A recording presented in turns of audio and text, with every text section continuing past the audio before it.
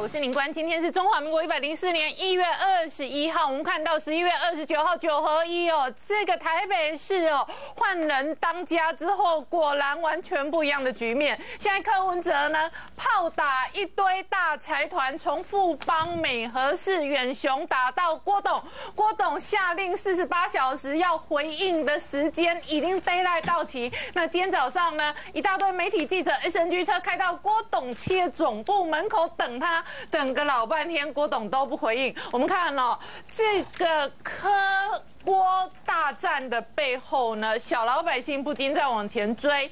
台北市过去这几个重大开发案，实际上在不同的开发案上面，他历任历经不同的市长。马好一共执政了十六年，十六年下来留下什么样的开发案，还是留下什么样的弊案？马好的大弊案背后有多少不为人知的黑金故事？我们待会要好好聊聊。好，今天现场要请到六位特别来宾，第一个好朋友刘文雄同学好，大家好，在郭章同学，大家好，钟小平同学，许家清同学，大家午安，好，阿仔朱学恒，各位大家好，好，再是光晴，大家好，好，这个今天呢，刚刚跟观众朋友报告，一月二十一号，郭董的 d a y l i g h t 都已经过去了，可批呢，目前为止也没有照郭董的回应做，郭董呢，今天人在台湾。在台北，也在土城的总部，一找媒体，通通都堵他，他完全不吭气。我们先看一下下面这则报道。他是和配科技总经理卓本桥，红海去年入股四成，郭台铭是他大股东。另外，他还兼任台北市政府顾问。就在柯文哲和郭台铭关系紧张的这个时刻，他跳出来发言。我的感觉是说，郭董很不爽的是，他被跟其他那些腐败的财团。并列在一起，柯文哲跟郭台铭做事的方式上面有很多是类似的。我跟两边都有一点关系哦，我不能说像两边都有多熟。本来以为能牵起柯师傅和红海的润滑剂，但一边是大老板，一边是北市大家长，卓本桥恐怕也使不上力。面对四十八小时最后通牒即将到期，红海董事长郭台铭似乎等不到柯文哲公开三创招标资料，两天内柯市长态度。一贯强硬。其实老实讲哦，他那个还排不上 high priority，也就是不是那个优先顺序最高的那个，其他更。其实我们一直要马上要救火的问题更多了。埋下广告却踢了两天铁板，红海还是静待市府回应，一切依照法律程序走。四十八小时僵局怎么解，就看双方如何突破。记者台北综合报道。好，阿仔，这个郭董呢，礼拜一一早就给大家呢看了六大报的头版头广告。那现在呢，四十八小时过去，今天礼拜三，一周刊都出刊了，一周刊有够坏的，今天竟然还追说，哎呀，郭董为什么在台湾哦，只查台干的贪污哦，大陆的路干哦，竟然还要放过？那郭董四十八小时一过，哎，柯批不但是完全没有照他意思回应哦，整个媒体持续在烧的，反倒是过。去十六年来，马好两任市长的大弊案。呃，我觉得台湾现在面对一个，其实也不能说愉快啊，而是很荒谬的场景，就两个中老年人用青少年的方式 在吵架。他们呛赌的意思就是啊，你四十八小时一定要给我回应。嗯，然后另外一边就呛说啊，我没拿你钱，我干嘛听你的？但现在就面对一个问题了，就是青少年在呛赌的时候，你在街上看到青少年对呛，对不对？对，大家就会呛啊，伯利西贝安诺，伯利西贝安诺，没套狼，那给息。那结果现在的状况就是啊，伯利西贝安诺四十八小时到了，那大家接下来要怎么办？双方都下不来，因为科比说要调查，但调查要时间，廉政委员会也还来不及正式运作。那郭董当时写说限四十八小时公布，可是他也没说时间到了之后要干嘛，所以换句话说，这就变成一个他时间到继续停工，是他本来就停工了嘛，这就变成一个花了三百多万的青少年版的呛赌，但是真正的问题都还没有解决，但是背后看到两个比较大的问题哦，其实第一个就是柯批其实上任到现在啊，确实解决了问题，提出了很多问题，可是。你市长每天早上自己开记者会，发言人在旁边变成拿麦克风的一个麦克风架。那每一次会议出来就要生气一次。我坦白讲，这个对身体非常不好，对市政也是不好。问题是双方都顶天了，结果为什么说现在没有解决方案？是你没有退路了。双方都不是说叫底下人出来互咬，对不对？以前所有。传统的政治人物来打架，现在都是主帅亲征。传统的政治人物对上传统的商业人物，是各自派发言人咬发言人，然后发言人隔空交火。也许某一天到最后，大家实在不行的话，是最后两个主帅亲自交火。但结果现在你第一天就主帅亲自交火，最后大家也拉不下来，那不知道到底要怎么办，甚至。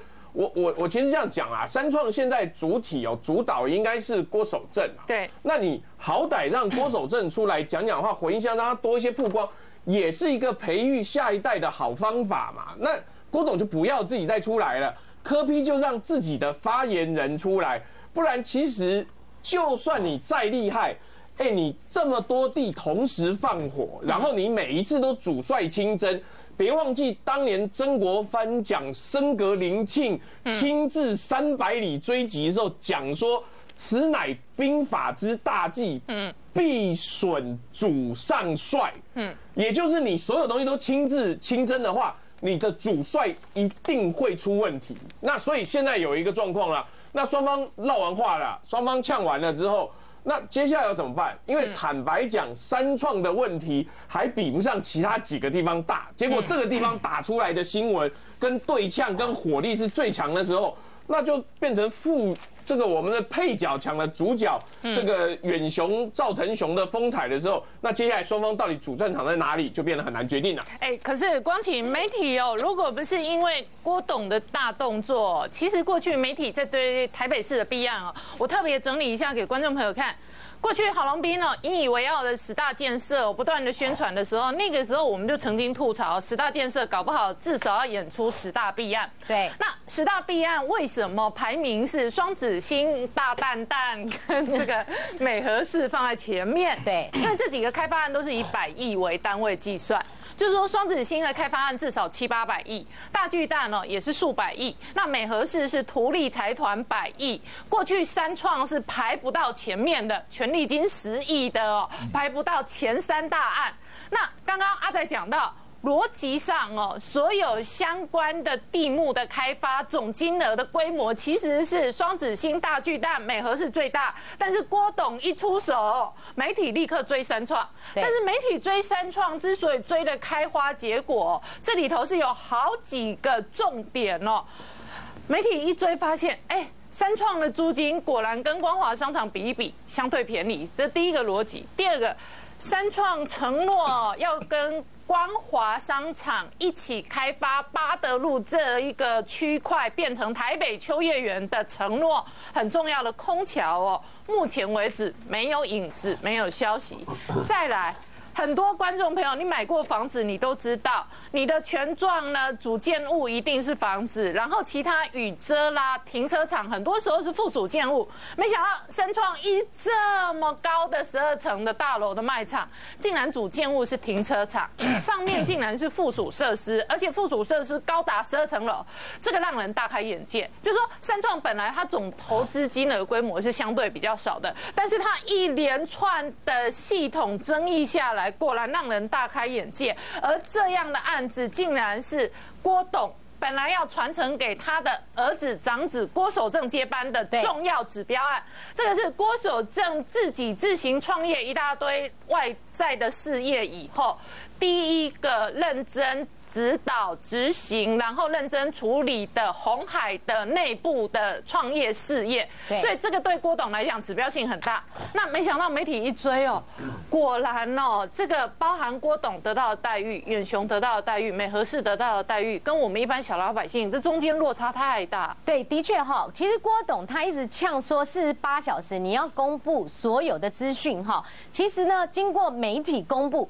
已经差不多了，你还在等什么呢？那我们看到他今天找了一个管道哈，那这个管道是他曾经投资的一个科技公司哈，这个宅本桥，桥，这个名字对我们是陌生的，但是呢，可能科批阵营对他是熟悉的，嗯，因为在科批他竞选期间的大数据是他所负责的，另外他现在也是市府顾问，尤其是台北市府的科技网络组的召集人，嗯，那。对于这个科比是爱护有加，可是刚刚这个宅神有提到说，哎，这个宅神呐哈，此宅非彼宅了哈。这个宅本桥他说他愿意当调人，其实郭董也找了这个好宅神作为一个调人，可能马上就会有所谓的沟通了哈。那这就是或许郭董本来吼声音那么大，你看六大报的半满广告，到今天媒体去问他，甚至哈之前一日市值掉了三亿啊。嗯那科比讲说，那你家的事情你自己要检讨。哎，他也没有声音。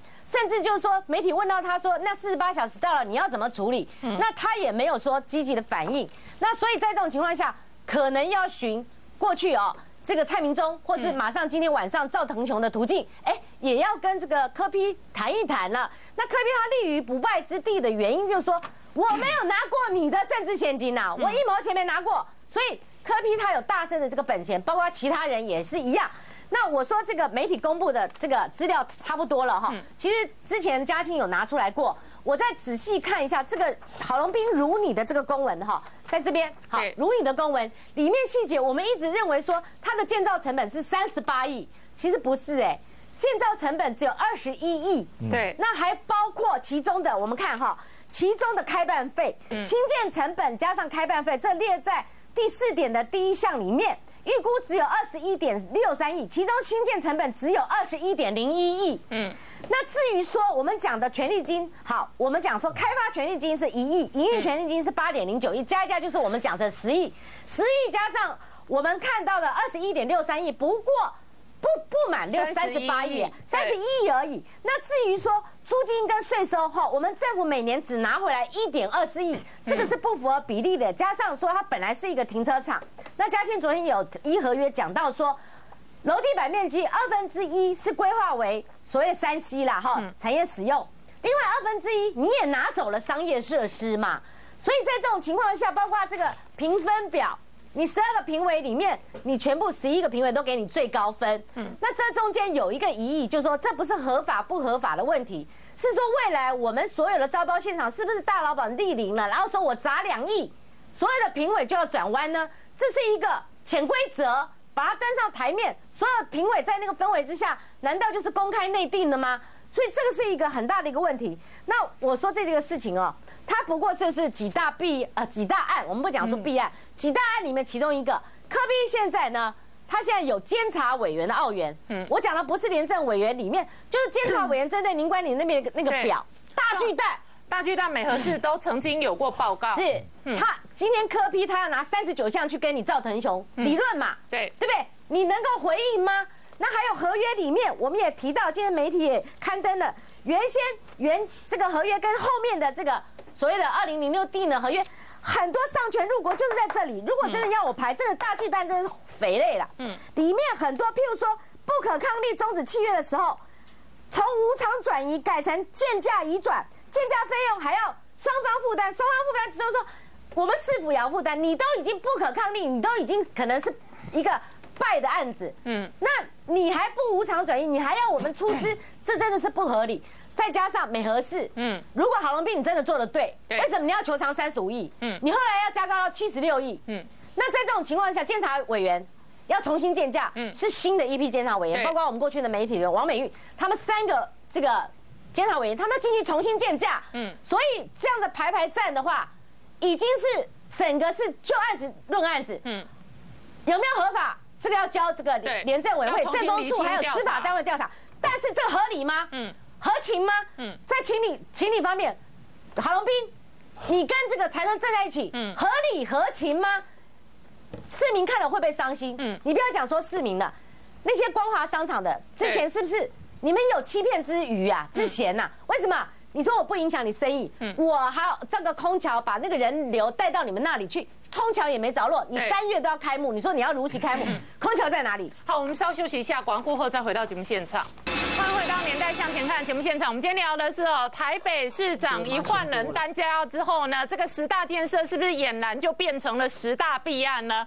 那现在呢，包含双子星大巨蛋跟美和市的案子，监察院都要介入重启调查。我们再看一下下面这则报道。前台北市长郝龙斌任内的两大 BOT 双子星与美和市案，都被外界质疑有图利财团之嫌。台北市长柯文哲打算今年三月将重新设置廉政透明委员会来重启调查，没想到监察委员抢先一步。他只是旧案的续追了，因为一案不两查嘛。我看这十多年来，很多很多大的这种开发案，很多都是 BOT 嘛，那所以它容易有一些争议啦。我想大概都是针对一些程序问题啦。张桂美回应相当谨慎，但有不具名的监委私下透露，希望前台北市长郝龙斌能经得起调查，重启查案前提前放话。监委的做法有待商榷。不管他这句话是祝福或是言语，我觉得都不妥，因为公正、客观、我心如秤，允直其中，应该是监委应有的修为。在监察院现在的人力只有十九位监委的情况下，居然有监委要抢调查，我们真的觉得这监委是佛心来者，还是纯粹护航？实际上，二零一二年监委调查美和事案，就认定台北市府低估了土地成本，损失超过一百一十亿新台币。当时监院就已经通过纠正台北市政府，这次监院再度重启调查，是否有实质功效，还有待观察。记者综合报道。好，刘雄同学，我们来看哦。过去我整理过，台北市长郝龙斌呢，在他卸任之前呢，引以为傲、洋洋洒洒列了一个十大建设。当时哦，自己还召开了一个台北新十大建设记者会。那我把当时的旧画面、旧照片找出来哦。当时我就觉得这样子玩十大建设这四个字哦，会不会到最后是公然侮辱蒋经国啊？那现在看起来啊，当时他哦，为了双子星的案子出来开记者会，没想到双子星变。变成一场五鬼搬运的弊案。那到最后也流标了。那我们特别整理出来哦，它恐怕到最后留下来的不是十大建设，而可能是十大弊案。十大弊案当中呢，前面几大都是 BOT 的开发案。三创本来是开发总金额规模比较小的，那美和是双子星跟大巨蛋其实都是数以百亿计算的。但是三三创的合约，因为小老百姓一摊一看，哇，天底下还可以主建物是停车场，附属建物是十二层楼的卖场，立刻。傻眼，但是回头来看，黄斌现在还喊冤，还说忍无可忍。那陈长文还说这在清算前朝，你怎么看？双子星就是郝龙斌跟赖世生，他们是这个呃这个叫做什么呃两小无猜就认识了嘛，对不对？不但但是男女了，一般就是说从小他们两个父亲就是都是那种军头嘛，几十年的几十年交情兄弟，所以他听他的话就听进去了，就说哦，升级团 OK 的很好。所以他他跟邱大展就会到日本去看生集团，就就被何何月如这些人骗了嘛。那换一句话讲，那那谁骗他？就是赖世生这些人骗他，然后他也愿意被骗，所以造成后面说人家是诈骗集团。我看最大诈骗集团就是这这几个头嘛。嗯好，这是一个。那你看到大巨蛋，如果你拿那个监察院的报告来看的话，那简直简直是不能签约的事情，马上就要立刻就地枪毙的事情了。嗯，四十六条条文，其中有四十四条都改过了。只剩两条没改过，所以里面的那个经费的问题，大概百分之九十二到九十五，通通是政府给这个这个优惠到这个大巨蛋。然后你看到这个美和市啊，美和市前面大家都知道，你看也提到七十六亿。对。好，那看到三创，我们前天也在那边算过，如果一平用一万一万五的租金，嗯，那最近听说有个新亿房屋啊，他说平均要一万八，嗯，那如果一万五就好了，他五十年的话。将将近八百亿啊，老兄啊，嗯，八百亿他来付出多少？付出一个五十五十几亿，付出一个十亿的权利金，然后呃建建设费用刚才说二十一亿多，那总共，哎，他可以赚到他七百亿以上，嗯，那这这怎么回事啊？那当然人事费用再开到一百亿的话，他至少赚五六百亿。他坐在那边等大家来当他二房东的时候，他当二房东的时候可以赚到五六百亿。那这种生意谁不能做？好了，诸诸如此类的事情，我们就发现。我们细节就不要讲，所以我最近跟我们谈的朋友都说，选举太多了，哦，因为选举多以后啊，很多的事情就变成利益输送啦、图利啦，甚至于拿这个竞选经费啦，你不得不做这些事情。那这些事情，请你看，总统大选，从过去的高铁 ETC，到这个到后来的大巨蛋，嗯，到后来的这个呃这个日升升啊，那他选台北市长的时候，就是呃富邦日升升。那这个郝龙斌就是邱月圆、双子星之类的东西。哎，这个选举啊，想不到选举可以创造台湾这么多的这个经济活动。但是这些经济活动，请问台湾的民众有享受到吗？没有。包括小百姓是最大输家嘛？因为这一些都是公有资产，公有资产被贱卖或者掏空的话，等于是全民一起买单，全民受损嘛。我那个同学叫邱大展，嗯，我一直说他不会有问题。他是使命必达，但是呢，就死得很快。好啊，使命必达。你想，他说不会有问题，是老板叫他办事，他不会有问题。使命必达嘛，因为长期一段时间，他都用他的地震专业说我们要搞地上权，嗯，所以他曾经让台北市的负债啊一千多亿通通摆回来了。嗯，可是为什么同样那个时间搞地上权的时候，你要把光华商场不把这个秋叶原搞成这个 BOT？你告诉我，我现在也要问这个同学，你为什么那个时候都在搞地上权的时候，你突然有一个案子用 BOT？我问你，BOT 跟地上权有什么差异？C 二十五，嗯，C 二十五就是一零一前面那个世贸那一个空地，对，富邦买多少钱？对，买一百七十几亿啊。地上权的权利金一百七十几亿啊。哦，那你想，那那个面积也不过就是两千多平嘛。对，那这也两千多平啊。对，那为什么这个两千多平他只要付十亿？哦，加上盖的房子钱二十一亿，他付三十一亿，哎，查出怎样？郝龙郝龙斌的理由是说，有一些案子地上权标不出去了。哦，怎怎么可能？这个地段怎么会标不出去？他的理由，他的理由不是理由。对，你去问富邦，这个地段要是给标的话，富邦可能也来投标。他产寿险一大堆闲置基金哦，最喜欢标这个。因为哈，C 二十五标的时候有两三家了，都是大家的这个呃寿寿险公司。对，哎，请问这块秋叶有几家？有七家来标哎，至少七家。对。而且最后绝标评审这个评分的时候，还有五大标，而且五大咖都是上市贵公司，都是有财务一定的能力的。对，而且我们我们话又说回来，我们的政府已经到倒退到二十年前了。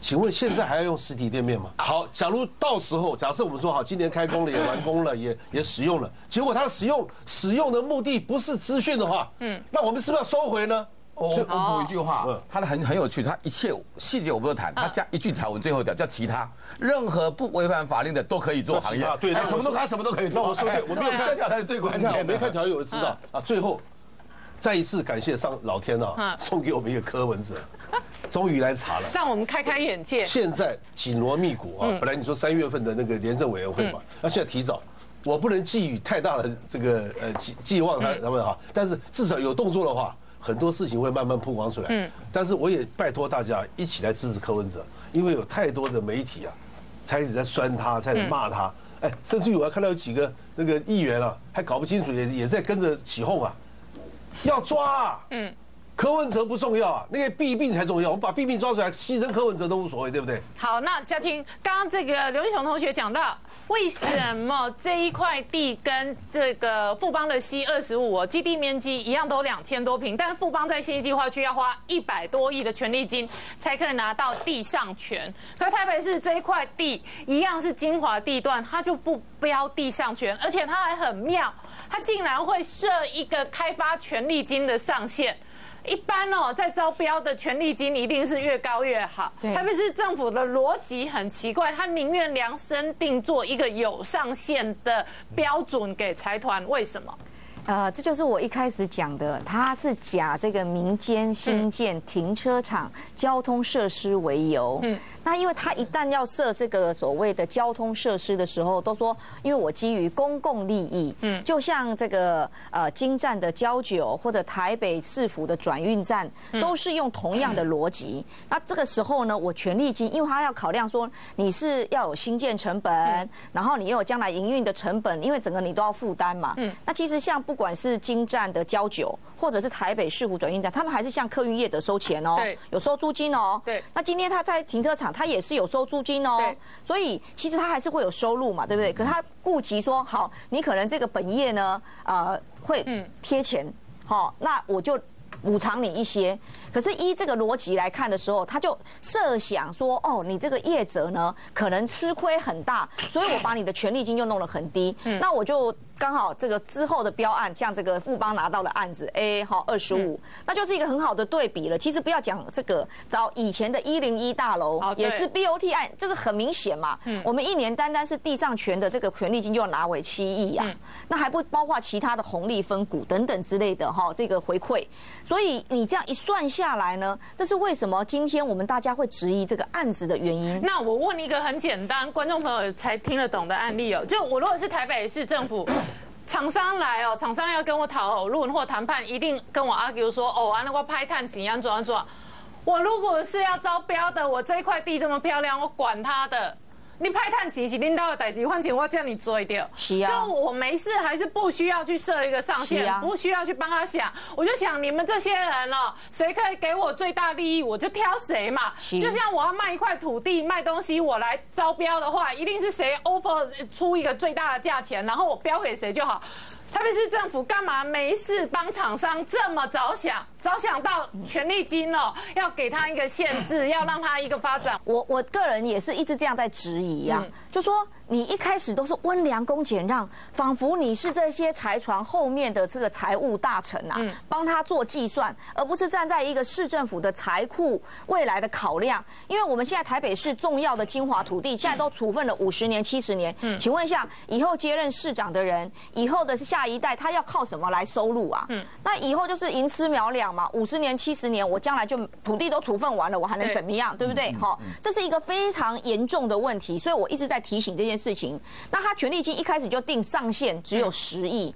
那所有大家都进来抢标啦，我我今天呃刚刚这光晴有提到说，其实它真正的新建成本只有二十一亿，对从停车场到上面的十二楼建物，对不对？比起我们隔壁的光华商场是盖了三十八亿，那简直是天差地别。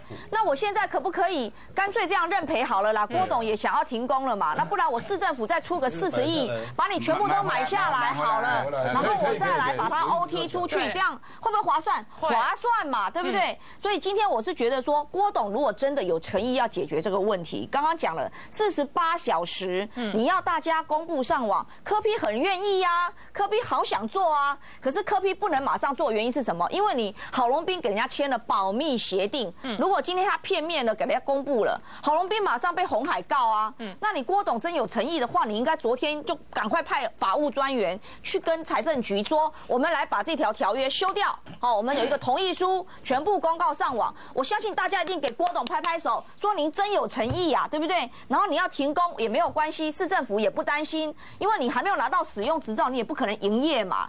那所以在这个过程之下，我们是从其实我老实讲啊，好，三创是所有这些 BOT 案里面相对规模小的规模小的，哦相对干净的。嗯，干净不干净我不知道，但是相对规模小的好收拾善后，这是真的。那我要特别讲相，对容易处理。正确，而且十二个评委里面哈，除了邱大展领军做这个局长以外，其他几位评审是谁啊？有三位呢，都是局各局处产发局啦哦、交通局啦，哈，呃，这个科个长对嗯科长级的呢。OK 那你以科长级的程度来讲，他就可以决定一个这么大的案，那他要不要听上面的话要？好歹你也派派个什么副局长或专门委员来吧，来决吧。所以这些人当然是听上面的话嘛。所以基本上就是郝龙斌的意志，然后再加上其他的七位。这个学界的哈，或者是一位律师，也通是通通是长期跟我们市府惯用合作的那一批学者名单，有几位还有跟包括美和市，包括所谓的双子星，都我不敢说都都完全百分百一样了哈，但是好几个都是长期的，对，所以他们要不要揣摩上意？他们会不会了解马市长要什么？要不要了解郝市长要什么？要要嘛，要了以后，将来我们有一些案子通通都 say no 的话，下一次不会找他来评了。是的，这就是我们今天要讲美感在这里。所以你现在所有的 BOT 案，你设计的标案就是这样做。你第一个给我一个呃文件标，哈，来审查基本资格。第二个我就给你做一个 interview，找十二个、十八个、十七个所谓的评审委员。那接下来呢，这还有一个美感是说，哪一个厂商私下有比较多的管道得到资讯，那我可以在这里面的时候，我加码来开出，比方说清创这个基金，他就用说啊，我捐两亿，对其他人有得到这个资讯吗？没有啊，所以这个就形成一个不平等的结果底。在哪里？那没有拿出来现在谁在？没有拿出来不知道。嘿对好，我们广告之后回到节目现场。欢迎回到《年代向前看》的节目现场。我们今天聊的是哦，这个台北秋叶原的案子那，郭董在礼拜一登了一个大幅的广告，六大报的半版头版头，通通都是郭董的广告。郭董哦，觉得从头到尾哦，如果大家对这一个 BOT 的开发案有意见的话，欢迎廉政单位、中风单位、司法单位，你们来认真查。那郭董呛虾的时候很硬啊，那柯文哲回话的时候也很硬啊。他说呢，哎。财团不要太嚣张，我选举的时候可没有拿你钱呐。那台湾社会不禁要问：难道好市长选举的时候有拿这些厂商的钱吗？否则为什么一个接着一个开发案，通通都会签下不平等条约？这些不平等条约的背后还有多少故事？我们再看一下下面这则报道。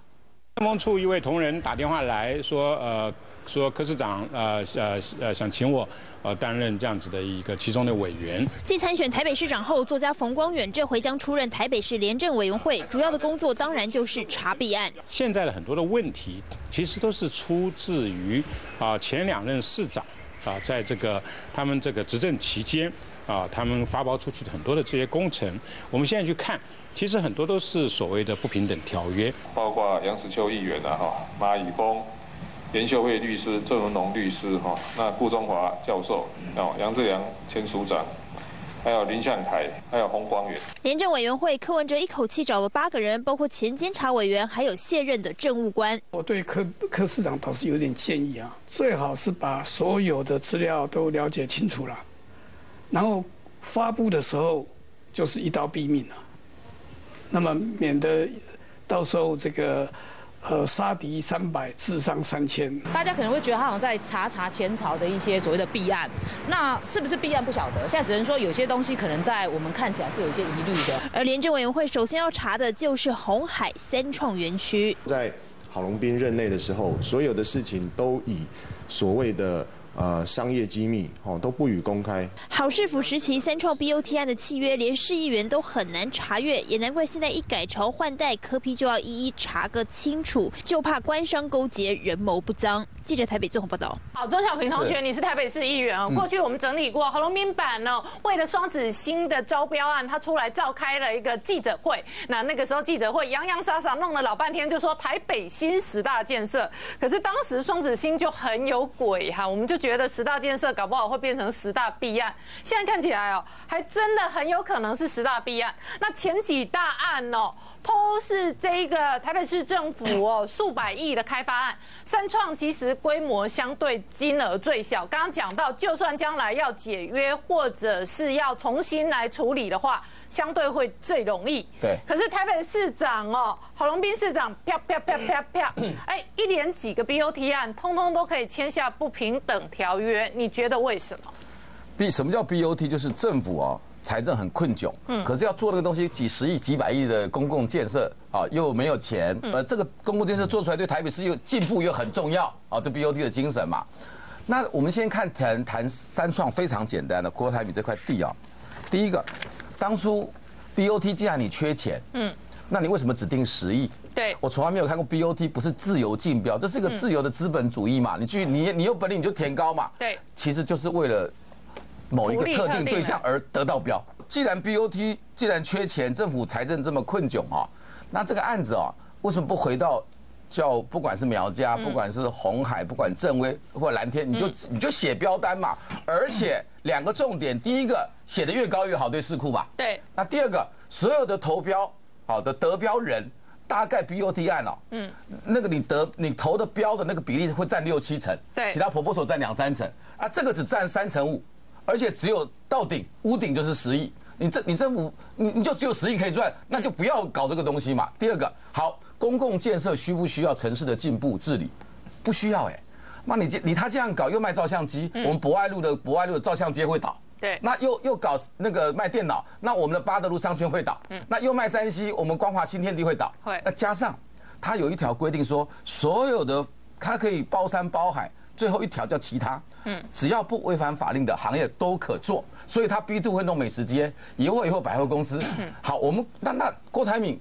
为什么会得标？大家上线哦，如果我没有上线，就好像美那个德国高速公路随便你飙车，对你六十八亿、五十五十五十四亿啊，大家各家来标，那你的你的两亿哦的清清创基金就一点都不起眼。对，没错。好，那因为你我认为两个理由得标了啊？为什么我那个郭会得标？第一个，你你屋顶是十亿，你捐出两亿，十亿个评审就热泪盈眶给你第一名嘛？第一个哈，很感动嘛。我真的这样。哎，是是是是。那第二个就是。有没有交代这些评审委员给特定的厂商？这是第二个。那因为他的屋顶很低，这两个理由就足够让那个红海得标，这是我想得标的的理由。这第一个哈，第二个他得标以后干嘛呢？他哦，他总共付出了三十八亿啊，嗯，几个东西。第一个我二十二十亿盖房子嘛，然后利息这个有我们要帮人家算一下，我们我们我们帮他帮人家讲个话，田园局十亿等等。那这个几乎没有人事成本。嗯，我我昨天有去见那个我们光华新天地的智事会会长，他跟我澄清，他说哦，我们差不多快倒了，天桥也不做啊，你这样搞哈，弄成你弄成山西百货了嘛，我们怎么活嘛？哈，他说那我说他们怎么经营红海？他说啊，他们的揣测是。如同大房东是我们，我们不做让人家做二房东，他们用收租的方式怎么收？是啊，像百货公司是啊，所有营业额抽十趴净利。嗯，好，那我觉得讲人家几千亿那个没意思，我们很保守估计的。嗯，他一年营业额。三十到四十亿，我认为是合理的。对，好，他总共出了三十八亿。嗯，如果是一年营业额是三十亿，乘以四十六年，就一他的净利，嗯，一百三十八亿。如果一年的做生意做四十亿的生意，你抽四亿嘛，啊，然后四亿乘以四十六年是一百八十四亿，这个案子就是一百八十四亿减掉三十八亿，就是郭董的净利。所以哦。你的算法还保守，我比较保守了，是比较强势的百货公司哦，营业额都不是抽十，收购可能两百亿哦，有收购很多柜抽到三三三成三成，然后很强势的柜可能可以谈到二十出头，没有十趴的，十趴不好意思，一百五十亿。店员这个例子啊，事实上你比很多对比的条件啊，他都比人家要更好了。对，比如说他比富邦，富邦是三十五趴商用，六十五趴要文创。嗯。哦，你说富邦文创在商业对他的他的合约是这样写，三十五趴商用，对对对，所以你现在看到什么可以办婚礼啦，什么台哥大进驻啦，那他现在都把它解释成商用，三十五趴，那就是说他比如说去年只有缴五十六万嘛，那他就说那是因为我还没有租出去啊，对，就是文创的部分，他现在的解释了，好，那当然他的租金很贵了，他不一定租得出去了，不过就是说至少合约本身是有分成的，嗯，那红海这一栋就是秋叶原哦，他是地上随便你啊。随便你哎，等于是百分之百都商用啊，好，只有这六成是停车场，它存了龙轻财力啊，而且他本来是要做秋园，打个岔，嗯，呃，以道具蛋那颗案那个蛋为案例，那个蛋还是要维修要处理，有那个巨蛋主体啊，对，然后其他的呢，周边的卖场或者是商办或者是饭店，对，那个是远雄赵腾雄的规划跟开开发，好，那我们就讲这个逻辑嘛。这个台北市现在逻辑是上面十二层楼随便你，下面你要给我停车场。对。那台北市哪个卖场下面不是停车场？是啊，我在啊。是你在内湖哪个卖场？我们在。你在搜狗，你在星光三院，你在一零一哪个卖场下面不是停车场？你看我们再往下讲嘛。嗯。它就是因为是交通设施 BOT，嗯，所以最高租金只能用公告限值三个 percent。哦。它不是用地上权来竞标嘛？嗯。结果五家来，每个人都出到十亿。对，所以这个部分就三十五分嘛，大家都同分啊。这个就是小平刚刚讲的，而且他特别用财政主标，这个是财政标哦。那财政标就是看财务嘛。那怎么会有人加码两亿哈做这个育成基金？是在口试的时候说的。对，你如果是财政标，你要加码加什么基金呢？你要在书审的时候就要提出白纸黑字里面。你要白纸黑字啊。对啦。那其他的对手被你奇袭呢？歧视同仁。你看你被奇袭嘛？因为。因为因为它是财政标，所以蓝天的不重要。对，因为这个通路专专长嘛。对。那什么文创啊、邱富生啊，那个就变成相对不重要。对。那就看你的财务的 model 嘛。好。你给出冷个，而且你是在口试的时候奇袭人家。嗯。那当然你会得标嘛，而且有两个人给他九十五分。哎，那我如果是蓝天哥，我如果是邱富生，我一定不服气。你浪费我时间力气陪你玩。是嘛？嗯。就是我从头到尾来陪玩，陪玩你要成本赔标也要成本申诉也不会过了。哇，恭喜他被鬼了！广告之后回到节目现场，欢迎回到《年代向前看》的节目现场。我们今天聊的是柯文哲哦，这个十一月二十九号当选新任台北市长之后呢，这个要进行交接，要处理那几个台北市的重大开发案都还在进行当中。可是刘文雄同学，没想到哦，这几个重大开发案哦，认真一追哦，开花结果都让人瞠目结舌。那刚刚讲到台湾社会从来没有人想到，我昨天请叶宜金交通委员。会哦，去查查全台湾的交通设施有没有这种主建物是停车场，上面开花，结果开出一大堆的。叶经怀疑这可能是全台唯一案例，因为一般的卖场不是这样子玩的。刚才刚才提到了两亿的这个那个那个清创基金叫做什么？呃，玉成玉成玉成清创，嗯，那如果有这个项目的话，嗯。照理说，七个人都要都要跟人家讲啊，没有错，是不是？那没有错，你要出多少钱？先不要说有人要出两亿，你要出多少钱？对，是不是？而且每个人可以投标嘛，这个可以跟他们标金一样嘛。不必把郭台铭说的两亿说出来，但是要说有增加这个项目，你们愿不愿意？嗯，大家平等嘛。嗯，那以以当时台北市政府的财政局的。的立场哈，嗯，换句话是我同学的立场，他们是有钱就好了，对，钱越多越好，所以他们才会把台北市的负债一千多亿，当时把它打平的一一部分的哈。所以为什么说现任的人哈占优势的都嘿你们硬杀温的钱，我主完路高嘛，嗯。嗯，我喂我我去拿钱，嗯，不要说我去拿钱，你自然就会来帮我的忙嘛，对不对？我们也曾经听过一个笑话了，在这电视上也说过了，那个人了哈。他的朋友捐给他六十瓶酒，说啊，你就发给这些四亿元好了。OK，那一瓶大概三千块钱。结果他就叫他事务股的人说，你去买六十瓶，一瓶三百块，然后那六十瓶就变他的了嘛。周小平，你虽然是国民党的议员啊，你怎么观察这几个国民党主政的十六年台北市执政的结果？好，合约里面第十七章第十七之二，规范乙方就是红海的责任，说有违规之事实的话，甲方得解约，可以找其他厂商来标。好，他今天。吵架了，翻脸。那我花了三十八亿，没有三十八，二十几亿了。我不玩了，我生气了，我退出。你主动退出是一条路，对你不退出，市政府柯文哲也可以裁决你退出。OK，那叫蓝天或是苗家来接。嗯那市政市政府真的可以很轻易的多赚几十亿到一百亿。我们希望乐观其成这个路走。等等，但是我插个嘴，那个合约我也看过，有一个问题是合约规范只有主建物。主建物哪里？停车场，停车场开了啊！对，他跟你讲停车场开了，怎么我上面不动？停车场这两天都有营运。他是说他上面的卖场哦，他在停工。那讲一句不好听的，现在看起来卖场哦，他要开工停工都是他家的事，因为他跟台北市之间的权利义务范围是停车场，而且他停车场早就如期开工。不不不，我再讲，我们再回到我们顾名思义，嗯，第一个。是不是主主建物跟副主才有争议哦？那个地目，那个地目已经是资讯园区，这个大家要厘清，这个我们不用花时间在那边 argue 了哈。那第二个，我跟翟神报告哈，因为副主建物也好，即使是主建物跟他走，应该也一起走，所以是可以一起谈的啊。我们这法律有争议啦，大家再谈。好，再再再回到林官的问题，为什么每一个 BOT 案哦，嗯，都会出问题？为什么每个 BOT 案都是市库倒霉，老百姓倒霉，环境冲击倒霉，然后而财团赚钱，对吧？我我们不用一个一个一个赘述。就是回到结构啦，我我我是国民党的党员哦，嗯，可是如果一直这样搞，跟土地财团的官商勾结，而欺负中小企业，欺负小市民，欺负年轻人没有房子，欺负二十二哎十六年都不加薪，第一份薪水是二十六 K，台北市这个政权必倒了。嗯，我们对我们的朱主席有很大的期望，可是我们也对他失望。为什么？他还在搞平衡游戏，他为什么还要再找郝龙斌再当副主席？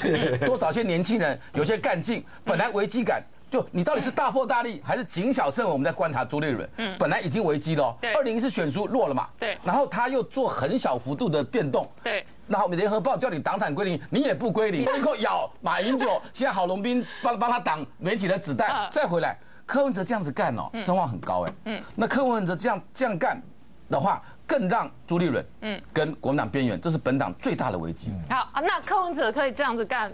某种程度是他过去跟政治圈没有挂钩，没有包袱，有很大的关联。是啊，是啊，没有任何包袱，反正这些一笔一笔哦，认真算账。那认真算账，其实这一些资讯它才会透明化。对，好，我们稍微休息一下，广告过后再回到节目现场。欢迎回到《年代向前看》的节目现场，大家好，我是林官，今天是中华民国一百零四年一月二十一号。我们看到这个礼拜一呢，郭董呢六大报登了头版头的广告呢，针对他在台北秋叶原的开发案哦有所反击，结果嘞，柯文哲就直接炮轰说红海哦太嚣张了，得了便宜还卖乖。为什么他会讲得便宜？理由，因为从头到尾他觉得秋叶原卖的太便宜，而且哦，柯文哲还呛郭董说：“我又没有拿你钱，我从头到尾没有要欠你的啦。”那同样哦，这个柯文哲也觉得没有欠他的哦。这个是远雄赵腾雄赵董今天晚上呢要跟科批科市长会，今天晚上这一个科赵一会呢，所有跑政治记者跟 SNG 的记者都累啦，都只能守。在外头。那同一时间呢，台北市呢成天在打仗，柯文哲呢至少开辟了五大战场。五大战场是把过去马英九跟郝龙斌前后。高达长达十六年的市长任内的重大开发案哦，都要认真来清一清。那不知道是不是柯市长哦太嗨，还是马英九呢？真的年纪到了，今天竟然哦，媒体还曝光了他呢。去年底参加路跑，差一点休克的画面，为什么会差一点休克呢？马英九执政到了第六年之后呢，贪污无能哦，这两个标签紧跟着他。那现在再往前推呢？过去前后十六年的两任台北市市长，真的也都贪污无能吗？贪污无能背后有多少不为人知的故事？我们待会要好好聊一聊。好，今天现场要请到六位特别来宾，第一个好朋友季国栋委员好，林冠相信大家好，那张文雄同学。大家好，洪光远同学，大家好，好张世刚同学，大家好，翟神朱学恒，各位大家好，好在光晴，大家好，好，这个我刚刚讲到满九马市长，当年是小马哥的年代就最爱跑步，没想到今天媒体曝光了一个他跑步跑路路跑，路跑到终点过后差一点要昏倒休克的画面，我们看一下下面这一则报道。马英九总统一向热爱跑步，没想到一周刊却爆料指出，在去年十一月马拉松赛当中，疑似因为突然不舒服，居然差点在终点前倒下，幸好旁边随护一把扶住他，甚至最后还传出因为疑似休克需要吸氧气治疗，最后经过医生诊疗，甚至传出有可能终生禁止跑步。国安局一口否认，强调马总统安全健康无虞，也表示总统仍然继续跑步。不过马英九总统毕竟也六十多岁了，立法院长王金平就劝他要多多保重。对，快走膝盖呢哈比较能够受到保护了啊，不至于哈有比较严重的伤害啊。已经还这究竟上了年纪哈，这个膝盖最重要。总统府现在说明，一切都是虚惊一场，绝对没有外界的爆料内容。毕竟马总统现在政治环境有如四面楚歌，就怕心理影响生理，会给外界错误解读。记者综合报道。好，阿仔，柯文哲哦，这几天上任之后，不断的把过去台北市的重大开发案往前追哦，都快要追成马好的大弊案哦。这个凸显马好当年执政的重大建设、重大成绩，到底会不会变成重大贪污舞弊？没想到同一时间就传出来。马英九总统哦，竟然路跑的过程哦，好像是体力有一点不支，差一点要休克。呃，我觉得其实大家今天看这个新闻啊，就可以证明谁真正已经过气啊。嗯，就是，呃，基本上马英九说他路跑险休克，照说对一个民主国家来讲，总统路跑跑到最后这个不行，生命甚至有危险，是很严重的事情，会动摇国本呢。但其实，在台湾大家觉得还好，因为。马英九早就被大家判断已经政治休克了，所以我们才不担心你在路路上怎么跑一跑会怎么样，因为我们唯一担心只有一个事情，就是万一这个，哎哎，糟我忘他姓什么啊？我们的副总统吴敦义，我刚又脱口讲出另外一个姓的，对，万一他接任怎么办？但我我觉得其实应该这样讲啊，这个呃马英九路跑究竟是不是有休克，究竟是不是身体有受伤，这是一个花絮新闻。可是对马英九来讲，对郝龙斌来讲，接下来真的要担心的一件事情是，呃，远雄大巨蛋最后预约确定跟签约是在马英九任内，两千零六年这个百分之百是没有错的。那所以对马英九来讲，这个东西，因为特别是在跟赵腾雄两千零三年的原始合约跟两千零六年预约中间有非常大的改变。我只讲一条，很夸张，两千零三年的原始合约里面规定了。如果今天大巨蛋的经营有亏损，那你可以用旁边的商业设施，这些电影院啊、百货公司啊、这些商办来补补贴它。但如果你的商办有亏损，你不可以拿巨蛋来补贴商办，所以才会开放那么多的商业楼板面积嘛。但在两千零六年最后签订的合约当中，这一条被删掉了。哦，换句话说，所有你让大巨蛋旁边包了一整圈的商场、卖场、电影院、商办，就是为了那一条，就是为了这一个 BOT，是怕厂商亏钱，怕厂商倒了。所以你让他开商办、开电影院、开大卖场，结果你把这条拿掉了。嗯，那请问你在签约的时候，呃，身为市政府代表，你白痴吗？哎，我打自己地割给他，哎，当时拿掉是两千零六年了，是两千零六年那个时候，等于是马市长任内签的，就是说大巨蛋历任的不同的市长有不同的进度、跟不同的合约、跟不同的决策。嗯，那以这一条来讲，不能算郝龙斌的，要算马英九的。对，OK。那所以对马英九来讲。这件事情真的很严重，因为你预约怎么会遇到这种合约？这是绝对荒谬的。当然，接下来就把马好两个人又拖在一起的是 BOT 案，大部分是从马英九开始在台北市大量推广，然后在郝龙斌那边到达一个高峰的时候，仔细想想很荒谬啊！你的任期就是四年，最长八年，但是你可以决定五十年到七十年的土地割让。嗯，哎，我讲明一点，因为。五十年之后啊，还可以申请十年展延，再十年展延，所以最多到七十年。哎，今年搞出去，把你的孙子的钱都卖掉了。已经不是讲孙子哦，你知道我儿子朱小胖今年五岁，对不对？他今年五岁哦，七十年的 BOTI 是到他七十五岁的时候才会把这个地还给台北市政府的时候，这本身就有很大的问题，所以应该这样讲。我们这一系列看到的。不管是弊案或者是合约极端的不公平的事情，其实牵扯到是，哎，上一任总统开始的这个 BOT 他签了不平等条约，然后下一个郝龙斌原先他可能自以为啦，那我我不知道他为什么会有这样信心呢？他自以为搞不好有机会变成下一任总统参选人的时候，这一系列的指控跟这一系列的弊案，是不是又让国民党又有一个人淘汰出局了？我觉得会是这一盘关系的重点。好，那庄瑞彤同同学，你有没有路跑过？有没有昏倒过、休克过？哦，我在造几那搞哎。嗯，马总统其实你注意把他看，这一次他跑在路上的时候，哎，周刊跟他讲说，哦，总统差点休克了。对他最后到达终点的画面，差点要晕倒，然后旁边立刻有人哦，稍微去扶他一下。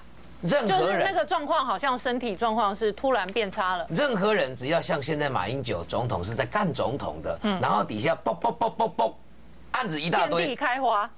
hell，底下在造的时候，心肝胆，那扭一个，扭一个，扭一个，尤其又碰到你看大巨蛋，又碰到整个美和市，我看搞不好会有比休克还更严重的事情发生啊！但你注意把它看这些案子，我会觉得马英九会觉得说，他天下本地不是拢咱的嘛，嗯，我去做总统呢，啊台北之前他输到这都行啊，嗯，所以他现在心里头一定是百感交集。他会认为说，当年的小马是如日中天，怎么现在的老马还在位？那其他的徒子徒孙好像一个一个被给宰掉了。这一次在台北市爆发这么多事情啊，我我的感想只有一个：修贵克谁啊？嗯，你看我一个修贵克谁啊？你即马讲起定克起定嘛靠谁啊？中共一个立马克谁啊？大头家靠谁？因大家拢靠谁？因拢想我这个温的，这个蓝的，上面大行代志拢凊彩得好啊。嗯，我一个礼拜。会到台北来一天，我不管伫新园，还是小琉球，还是恒春，还是伫满洲，我甲伊讲，人拢甲问啥？你敢？我拢甲伊讲，我咱家爱安怎做，以后安怎做，我老机会东山里会安怎做，伊拢哎，咱来讲台北的好唔好？我的意思就是说，像台北市搞到，怎么会一个新任市长上来以后，全国各地都在瞩目？嗯，那你说这个该怎么办？你说这一些人怕不怕？他怕，马英九怕不怕？他当然一定怕。嗯，郝龙斌怕不怕？郝龙斌好像出来说，我忍无可忍，他很生气。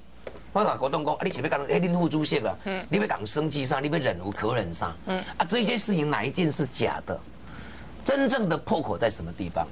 监察院去纠正台北市政府，嗯，监察院去纠正公共工程委员会，那个时候事后你看到我们台北市政府做了哪一件事情？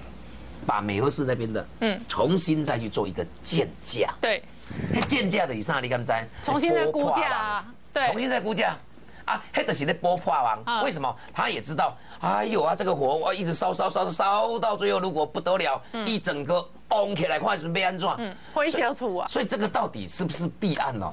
都到现在，郝龙斌。嘴巴都不要太硬了。嗯，现在没有人去指控说你郝龙斌，你去拿钱去干什么，都没有人去做这样的一个指控。但这些事是必案，是不是必案？当然是必案呐。我们这问，你看这一次出来在谈的这些议员，大家有一个共识的，是讲烂起来是真闹亏。啊，这个代志咱来骂骂，你要安怎骂骂骂几年啊？无人要听。啊，政党一个，嘛咪政党哦，要市长换换人，柯文哲赢了，人家随便一丢，哎。大家开始讨论了，哎，这些资讯不是以前没有出来过，对，都有，所以我会觉得说，台北市现在出现最大的问题是什么？嗯，你现在去检验过去，你会发现一一样东西。嗯，打个龙熊会克谁？你像比如说我们一个小科员就好，哎呀，罗罗要一康哦，一个科员就可以开口合约了。啊，来进来报报，林冠进来报报，现在多少钱？哦，三千哦，来三千，金可以给他报得。可是这些重大重大的一个标案，好像大家都拿市府的资源。关远兄，好像这个不错哈，搞起来朋友哈，啊不啊，这个都好利啦，哎哎不错嘞，我们是好朋友嘞，啊这个也好利。所以为什么会到最后产生什么马友友、好友友，社会大众会去质疑的原因在哪里？那个都不是空穴来风，德喜公，你这个会不会有多少的让厂商拿到太多的不当的一个利益？我们不管你这个手掌有没有拿到，至少你可以大胆的去讲一句话，就是说，您家只有修订的人，拢客台北企业主管的交朋友。嗯，你还问我说交什么朋友？我讲这人有一天都有想着大卫啊，那个大卫啊，所以把民间的好友全部都先交起来，你拿什么去跟人家交？拿台北市的公共建设去交，那他就渎职啦。那他都渎职，当然就是说，他到底是台北市民的代理人，还是财团的代理人？哎，这很重要。就说作为一个台北市长，他是台北市民的法定代理人，所以合约书最后市长画押签名的时候，他代表的是台北市民集体的权益耶。当然，你看那个四大运就好了。嗯，四代我记我在这边都讲过了，你本来是你预赛五天，决赛是七啊不，预赛七天，决赛五天，弄弄那整一缸。嗯，当初我们讲说小巨蛋是一个国际级的篮球场，结果他会拿球会盖三干。嗯。迄小巨蛋开四十五亿，那个起起来了，怕啥开？啊，大概拢底下，迄国际标准的场地都是在那边办演唱会，也就算了。你办四大运，你后后面为了一个四大运，会不会起起来篮球场？你在贵阳，你会觉得？这个在一般人的想象里面，难道有一个全国际标准的一个篮球场，叫做小巨蛋底啊。啊，你唔用，嗯，啊，你为着要去办一个五港的一个决赛，你可以开一个二十几亿，要来起一个篮球场，你会觉得这个市长的脑袋瓜在想些什么？结果你把他的细部的计划拿出来一看，要死哦！你都唔是要起篮球场啊，拢要冲什么旅馆呐，什么电影院呐，你都是搞这些东西嘛。前阵子我们要谈的是什么？金站交球，对不对？对。你讲交通转运站，后来你才发现，荷兰，嗯，龙州马的 key，龙马的 key 一挂商业设施，金站上面是饭店，然后是住地上权的住宅。所以都只是在找到一个连接，就是为了两个字：开发。嗯。你看现在很多私很多私立学校，你只要一听到看到他说，哎，我们要停校哈，我们要迁校，你听到迁校你就知道又有人在 A 钱了。那个财团法人哦，他土地都不能卖的，他就跟你说我签下，人家就得土地两千平哦，我，这剩什个几百亿嘞？那来整卡锤一对啊，把这个学校迁到这个地方，哎，迁校啊，这一块土地就可以卖。所以只要迁到这些名目，你会发现这些人都很厉害。但回到一个重点，就是说这些东西都是台北市民的啦。嗯，你做几个布料，你几个热来料，他大家认为说啊，不要紧啊，马英九都可以这样搞了，好了命为什么不能这样干？大家都在交朋友嘛，但是他千想万想，没有想到说台北市会输哦，一输问题就爆出来了。好，我们稍休息一下，广过后再回到节目现场。欢迎回到《明媚向前看》的节目现场，我们今天聊的是台北市长呢，这个十一月二十九号换人当家之后呢，今天晚上。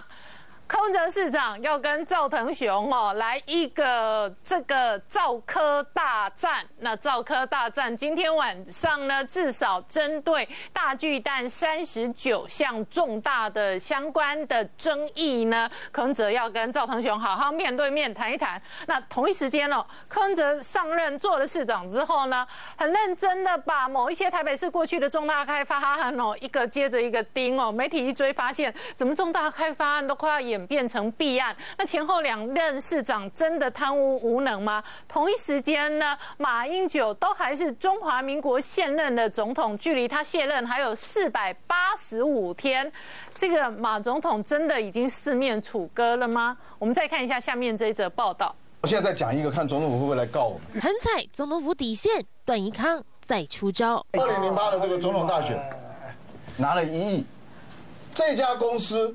是一家上市公司，啊哈，这家公司的老板拿出了一亿，捐给马马英九选总统，这家公司就顺利的去合并了一家具有历史意义的公营事业。仅有马总统有收钱，还带望企业并吞公营事业，让网友化身键盘柯南，点名马总统好妈级的富邦，还有想并购张营的台新金，通通被段宜康打枪。马英九或总统府来告我，我就会讲。或者特征组再传我，我就会讲。啊，当然这个不意外嘛，这个我们已经看过太多的案例了。这里面有很多传闻嘛，说这个是呃跟国民党关系很好的人。立委抓紧小辫子，猛踩总统红线，号称不沾锅的马总统恐怕难以忍受。记者综合报道。好，光晴刚刚讲哦，媒体一追这个柯文哲，星光上任三把火，火一烧，哇！怎么过去台北市几个重大的 BOT 开发案哦，很认真的仔细看一看，你会发现每一条都让人家觉得跌破眼镜，所以才会有我们把十大建设整理成十大弊案相关的这样的一连串的资料跟议题。那。马英九总统真的压力太大吗？真的身体累了吗？才会搞到我连路跑都差一点休克。其实马英九历来哈只有一次秘密动手术，是白内障手术哦，真的。你看他平常哈那个都戴太阳眼镜，因为他畏光嘛哈。那当时候这个手术呢，其实是偷偷摸摸进行，因为他从从投入政党以来哈，一直以来都是在卖一个什么？除了卖色相之外，就卖健康，你知道吗？他的健康哈，是啊，国语日报也有在报道，哎，是那那种完全是余额往上逆流的这种感觉。嗯，你知道五十二岁的马英九说他回去看公文要看到十点，好，然后做一百二十个仰卧起坐，洗完冷水澡之后，哦，精神大好，还要再看半个小时的公文，然后晚上就开始跑步，好，然后呢？跑步十公里呢，还游一公里的这个泳，好，那我们知道他二零啊零八年就开始，二零一二年他两次都是卖上我铁人三项，好，我骑脚踏车，好，都是靠这个打造他健康形象。可是这会这个爆出来哈，休克哈，那他说没有没有，就跟否认顶薪一样的急速说从没有，我没有我这个休克，我也没有回到那个所谓的官邸里面去那个把那个氧气罩。他说纯粹是因为天冷没有运动，暖身不够。好，这个我说实在的哈，你否认一大堆，或者说就算是媒体报道哈，大家要不然就是 A 啦，要不然就是不关心。大家现在关心的全部都是科比引爆的，他们两个留下了提款机。哦，那个提款真的是提的那个真的是里面饱饱的。为什么？怎么提哪一个案子他都有小问的。对。那杨石秋喜欢攻这个富邦的文创，我喜欢攻大巨蛋。嗯。好。你知道大巨蛋真的是终于要会面了。我跟你讲哈，大巨蛋今天晚上要高进入高潮了哈。你知道吗？我重新再看这个资料，护数联盟提了很多，真的是看了哈。监察院也提了很多。嗯，你知道我举三个例子，三审期间有三个评委经常接受这个所谓的赵腾雄的邀宴。嗯，那马英九这个跟远雄签约是什么时候？是赵腾雄生日啊！哦，十月三号还送给他一个生日礼，真的假的？两千零六年，两千零六年十月三号是我们的赵腾雄生日，雄哥生日。可是我提这个时间点是干嘛？雄哥生日，马市长送大礼，送合约书。那生日的前一个月，委员的账户，其中一个真审委员账户还多了两百九十万，这谁查的？我跟你讲，这个是司法单位也查了，监察监察院也查了。但是你你们会讲说，哎呀，我们讲来讲去，为什么这个没有延伸？是因为说没有直接证据，嗯，就说他户头多了这两百九十万，你要去证明说跟远雄这个大巨蛋这个案子有关，嗯，所以没有办法证明。我看监察委员的调查报告里面也有列，嗯，那这是一个，哎，这个是事有蹊跷嘛。第二个，你知道吗？马英九任内的时候，他曾经为了这个案子委托一家联合建筑师事务所。进行开发的可能性评估，嗯，哎，那个评估其实跟那个美和市一样，他竟然低估大巨蛋的自偿性，说他未来是一个注定标准的赔钱货。哎，我们现在听来是很讽刺，哎，嗯，他是赔钱货吗？所以呢，因为这样说是要给他更多的商业设施，结果更多给出来是，哎，不是棒球场嘞，不是体育园区嘞，六乘二，超过六乘二是商业设施，就这样来的。后来呢，他得标之后呢，又提出变更计划，林林总总的哈，这个引起争议。就是接着我刚刚讲的，评委就经常吃饭，然后账户里面离奇的多了两百九十万。那第三个也是真的很离谱的，依照原先的开发合约，停车的空间需要计入总的楼地板面积。可是呢，他远雄不断的向中央或者向地方一直解释，一直去去这个要求，结果马英九执政下的北市府竟然同意停车场免计入，所以他多了很多开发量体。我们上次也讲过，您刚才讲过，当时候在结标前一天公告，变成其他五家中的其他四家跑了，因为他们不晓得有这个讯息。结果呢，远雄独家得标哦，就是这样，只剩他一家。你结标前一天，你才开放这个大贩售，从三十一万的楼地板面积，你扩张成说五十一万平方米的这个楼地板面积，由他一家独享，所以五十年的地上权，零权利金，这个是我们比较其他各个案子的都没有过的。我们刚刚前面才在讲说，啊，那个这个红海他们下面三创，嗯，他们付的权利金十亿，然后每一家好当初要要评审的时候也都十亿，好愿意付。可是这零权利金，而且草约跟后来二零零六签约的，我们不要再赘述了。里面就是怎样上权入国，真的原先该钳制他的没有办法钳制，该罚他也没办法罚。就郝龙斌误踩地雷，嗯，他说你们这些人好好看看这个合约，现在合约通通出炉了。对，这个就是我们哦所谓的上权入国条约，你真的好好去看。任何要帮郝龙斌辩护者，嗯，请看看合约。不包括有帮赵腾雄嗯承揽律师业务的陈长文。哎呀，光远同学，你现在是台北市廉政委员会新委员呢，黄光琴连合约都找出来了。这个当年呐，马英九两千零六年相关的合约的变更，乃至于最后签约，竟然好巧不巧，当年还是赵腾雄的生日礼物呢。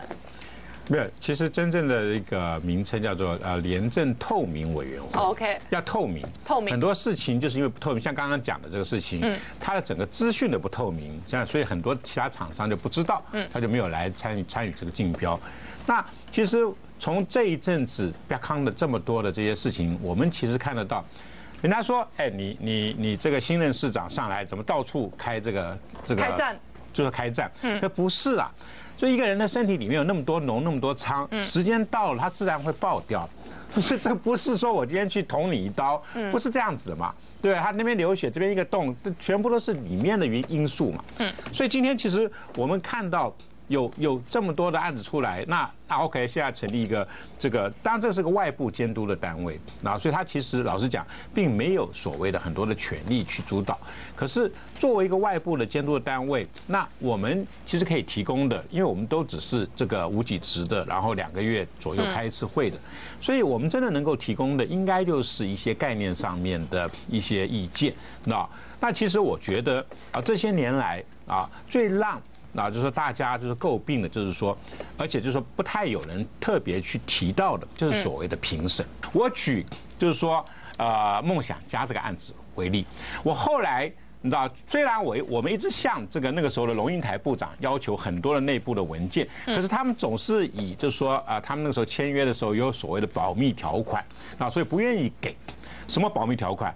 我们今天是在看我们纳税人的钱怎么被用，这叫什么保密条款呢？对不对？可是我总是有办法，那弄到了这些名单，而且全部我看过之后，发现就是说非常离奇，因为永远就是说放行的、打勾的，就那里面很多案子，几千万、几千万、几千万才会能够构成两亿三千万、一千五百万嘛，这么多几千万、几千万的案子，几乎打勾的总是那些人，有几个名字永远是在上面，那有一位。姓杨的是比较正直的，人这这个文化人，他是从头到尾打叉。啊，他因为因为这位我这个我这位这个这个这个同行朋友，啊，他非常清楚这个整个的戏剧面的东西嘛，嗯，所以他看说怎么可能有这样子的灯光，怎么可能有这样子的舞台装置，怎么有可能有有这样子的所谓的发想费用，嗯，你知道创意费用，所以他一路打叉嘛，后来。我看到到最后说，咦，怎么我这一位认识的朋友，他最后没有在名单里面，所以我特别打电话给他，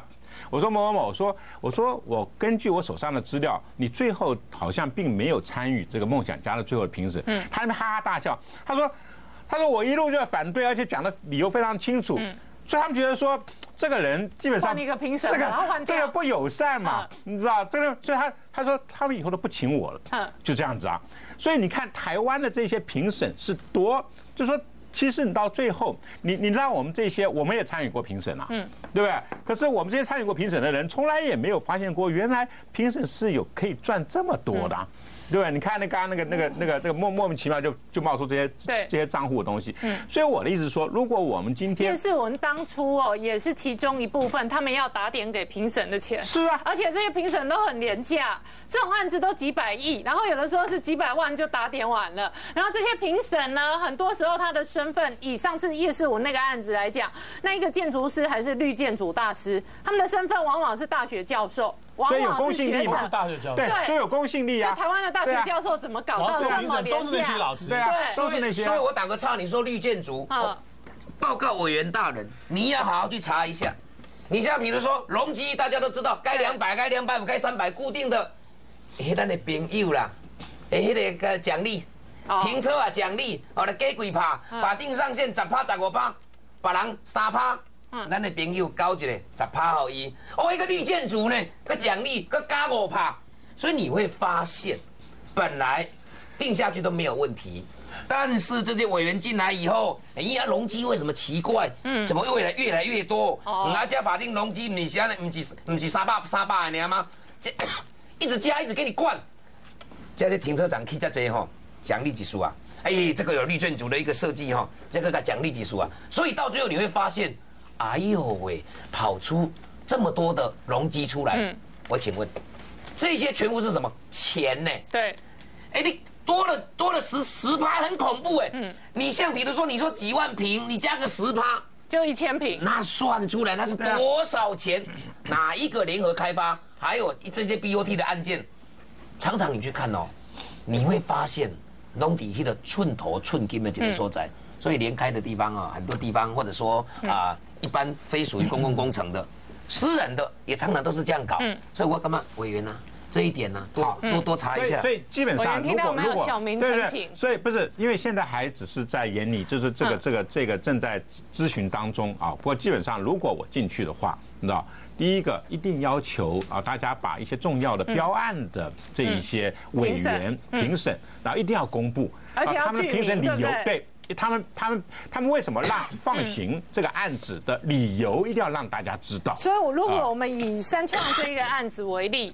你会希望将来台北市的重大的工程或者是标案，十二个评审你就通通具名，然后你怎么评分的，你给意见，你就为你的具名负责。对。那将来一旦哦，这个媒体再去追或者发生舞弊的状态的时候，你才抓得出什么样的评审他做了什么样的意见，那那个意见合不合理，大家都可受公平跟检验。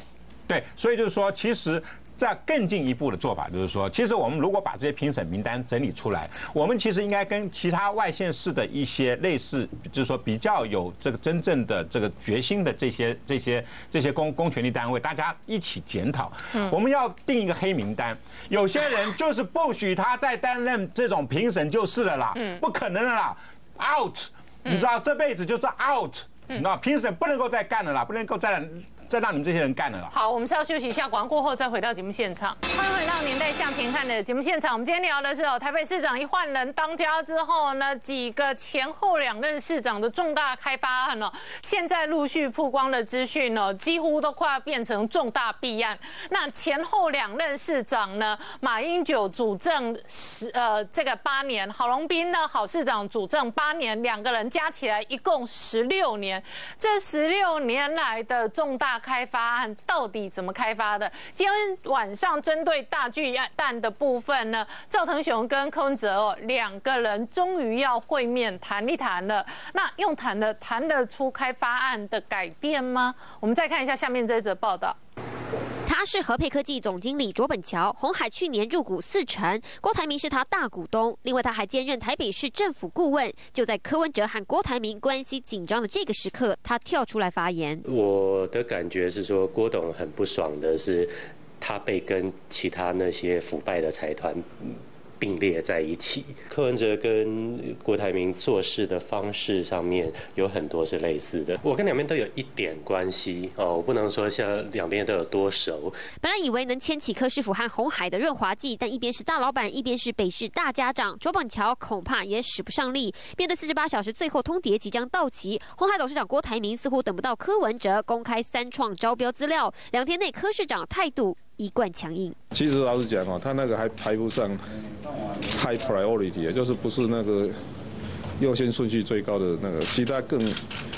其实我们一直 要马上要救火的问题更多了。埋下广告却踢了两天铁板，红海还是静待市府回应，一切依照法律程序走。四十八小时僵局怎么解，就看双方如何突破。记者台北综合报道。好，张世刚同学，这个昨天呢，陈昌文在媒体投书了一篇文章哦，这篇文章的标题叫做。当政党轮替变成清算大会，那他的意思是说，怎么感觉柯文哲从头到尾当一个市长之后都在清算前朝？可是台湾社会，包含媒体在追的是，哎。没有认真清算，我们不知道台北市的案子可以这样子玩。比方说深创这个案子，很多一般买过建筑物、买过房子的观众朋友，你都知道，你的主建物哦是你的这个，比方说假设是商办哦，是商办的这个权状；假设是住宅哦，可能住二、住三哦，住宅的权状，然后雨遮。停车位那个都是附属设施，那么天底下竟然会有一个案子，主建物是地下停车场，上面十二楼卖场，随便你玩，这个跟一般人的逻辑都不一样。是这样，我就觉得有一句话还不错啦，就是这个这个换政党轮替啊，我觉得找妖魔是必要的，但是不一不一定要把每一件事都妖魔化。嗯，你说马好贪污无能，无能是一个感觉，嗯，无能是一个主观的判断。但贪污呢，就要实质的证据。嗯，所以我觉得在目前这些案子在发展到目前的阶段，也许你说他无能哦，有些有些案子确实是监督不周，或是一些思思虑不周的地方。但你说贪污的部分，坦白讲就要拿出真正确确的这个证据出来。嗯，那我们谈到刚才那个三创的案子啊，其实在类似停车场的开发案，其实大家记得在二十多年前，这个天母高岛屋，嗯，就是一个很好的一个对开发案。嗯，它的开发案原本那个地方呢是做停车场。嗯，但是高岛屋这个得标之后呢，把它卖场跟停车场的通通做一个很好的建设，所以去那边购物的人基本上停车都非常方便。嗯，所以并不是说每一件事情都是土地厂商，有的时候可以造福民众。我觉得这个事情还是要看它本质啊。我觉得谢长廷昨天讲的很好。谢长廷说不必把这个 BOT 都看看成这个洪水猛兽，他也他在他的高雄市长任内也有很多 BOT 的案子，像高雄的巨蛋，还有高雄的下水道工程，甚至高捷也都是 BOT 的案子。那有的好，有的赔，反正就是让厂商负责。所以我觉得，所以我觉得现在像光远老师现在是廉政委员会，对不对？对，光源委员。呃，光源委员，我觉得你们的廉政委员会这一块啊，我觉得少了。有经验的市长，嗯，或者市政的这个主持者进来来看这很多案子是否符合行政的概况，跟他现实上能不能走得下去。像这一些很多社会名流，有些人只是出一张嘴，但是他并对于实质的政策跟施政的推动的那个细节部分，也许并不了解。那我建议其实可以把这个谢长廷加进来，因为他有实质的建设的经验，而且他是民进党嘛，有执政经验吧。那这些的。这个学者也好，或是议员也罢，或者律师也好，他没有实质的公务的经验。我觉得这个部分不能用这个嘴巴来做这个裁判。嗯，那同时这些人里面有一些是他选举时候很重要的帮手，甚至抹黑对手的一这个这个顾问。我觉得这个这一类的人要把他移出去，把他。淡政治化，嗯，不要让它政治化，让它单纯的来解决这个事情。所以我觉得在这一块上面，我觉得民众看到是这个透明的取向，嗯，这个透明的取向。那在谈到这些财团的部分，我真的很佩服柯文哲是全世界，说是全国最聪明的人。我觉得连胜文输他了，真是输的五体投地，也没有什么话好抱怨的。嗯，因为柯文哲一上任以来，五路开战嘛，嗯，先把这些财团抹黑。然后好像影射他们跟前朝呢有很多的这个交易在里面，有这个奇奇怪怪的事情在里面，但是私底下又开始进行一些商谈跟合作，嗯，帮他建这个蔡蔡蔡家，嗯，啊，去谈这个文创的事情。他出来之后，这口径又做一些修正。然后今天晚上要要见这个赵腾雄，对，早上我看报纸，他也做一些修正，就说这个树呢是只要再砍掉移走一些些，然后底下的通道也可以保留。然后这些部分放话，先让他成为今天晚上讨论的一个基础在这边。嗯，所以我觉得柯文哲在这一块政治操作里面，我觉得蛮取得陈水扁这个冲突妥协进步的这个真传。所以其实在这个些这个月里面，其实看得出来，柯文哲最后有可能会把蓝绿的政坛重新做一个翻脚，嗯，甚至在这蓝绿政坛之间画出第三种道路出来。哎，真的，纪委员你怎么看？我觉得今天晚上跟赵董他们的会面呐，赵科会面应该是南柯一梦了。嗯，我不相信啊，记者都在等。我我不相信一两次、两三次会谈出结果。两个都是相当刚强，而且相当有主见的，不容易妥协的人。理论上，赵腾雄董事长前阵子在何一仔那一役啊。已经灰头土脸。嗯。哦，如果说一般人来讲，可能在很多地方都会做很多的退让。嗯。可是我看他前程一阵子出来以后，哦，又就不会瓦凉哈。对。火力很旺。对对对，哦，那你就可以看出他的意志力有多坚定。嗯。所以你说，纵使好吧，那大巨蛋设规划设计当中可能有很多的啊可诟病之处，你叫他马上一下认输，很不容易的。我看法是这样子。那柯文哲讲说啊，他当选那天晚上差点睡不着。他认为说他的当选可能会影响整个台湾全岛的一个命运。我觉得这绝对不是夸大其词。嗯，因为首都台北市俨然就是一个火车头。对，就说你怎么做，那可能可以作为其他县市，不要说参考啦。嗯，就说哎，有一点点做一点示范的效果，和一个示范区啊，如果做得好。大家会群起效尤。你看，从啊台北以南，不管是新的啊一些直辖市长，或是以前啊这个连任的，哎，或多或少都有在学习科批他的新的风范哈。嗯。那我是觉得，当然一刚开始有人讲说，哎，一下开这么多的战线哦，恐怕到时候会乱成一团，那很怕变成斗争。那这些所谓的委员嘛，光远兄我对他非常肯定哈。那其他委员就像施光施刚所说的，如果说他原本有很强的意识形态，哦，那当然不是有意识形态你就一定做不出什么事，但是恐怕你调查出来东西是不是能够取信于所有全体市民也是一回事啊。所以我我是开玩笑的。嗯。我听说哦，我助理跟我讲说。网络有人建议说把季国栋拿找来进去当廉政委员，哎，我想一想，哎，如果说我在里面的话，就不算清算斗争，我开个玩笑，因为当地法已经够忙了哈，没有办法。不，如果可以增加一些蓝领的，他不是说打破蓝绿吗？嗯，增加一些蓝领的啊卸任的立委，而且公信力相当强的，嗯，我觉得未来调查出来的结果。梁实秋是国民党籍的民意代表，而且梁实秋是台北市议员哦，这个当了好多年哦。不，我看这些老板是这样子哈，有些时候因为志良还是挺马大将拍 CF 的嘞。嗯，不管怎么样啦，其实呃那几个大案子其实争议都相当大，对，包括刚刚瑞雄兄所说的，或是光宇兄所说的，不管你经过监察院的调查，或是甚至于还有两个官员被起诉嘛。那这些基本上就是必安的啦。嗯，这，所以如果说你这时候市政府或是你的厂商强力来反击人家，我觉得理不直气不壮啦。嗯，你可以讲说我真的不知道那。是不是我们有改善的空间啊？不能再反击人家。嗯，所以，我我是建议市政府这时候用反击的方式说忍无可忍。嗯，虽然是我的长官，我还是提醒，这时候其实不应该讲这么多了。好，钟立雄，你也当过台北市议员嘛？这几个重大开发案，通通都是 BOT 开发案，而且前面几个都是数百亿的开发案嘛，所以它才会争议这么大嘛。对，其实你注意看，呃，现在从。台北市政府本身重新再去做建价，嗯，这郝龙斌卸任前做的事情，他为什么要那个动作？嗯，像纪委你最聪明了，那个在干嘛？黑德喜在赶工啊，要挟我，太安呢？马英九的任内做了哪些事情？然后一延续下来到郝龙斌，郝龙斌并未必会认为说马英九做的全部都是对。你像比如说那个那个公车专用道那个，我们在议会讲过几次了，郝龙斌是很想把它拆掉。可是问题，他怎么可以拆？一拆，拆到马英九在干总统，又是他的主席，他不敢拆。所以你看美和事就好了。我们大大家最清楚就是说，呃，损失了这么多啊，是有的一个财产。然后呢，让这个厂商让整个日升生赚了这么多，郝龙斌知不知道？知道。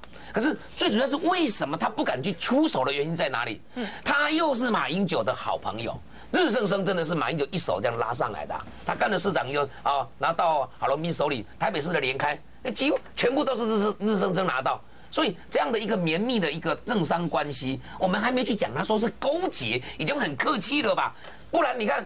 你让一个台北市府损失了那么多，该多进来一百多亿，哎，你却把白花花的银子觉得没有关系往外推，那要卸任以前那样一个重新再去要向日升升求偿，这个就有点弱掉了，所以他就出来讲说什么忍无可忍，我我会觉得郝龙斌这个讲这个讲法，嗯，那是因为你的长官呐，跟我让安尼扯呀，嗯，你的忍无可忍，你敢呛赌，你开什么玩笑？那是柯文哲没有司法权而已的，啊，我你给他呛赌。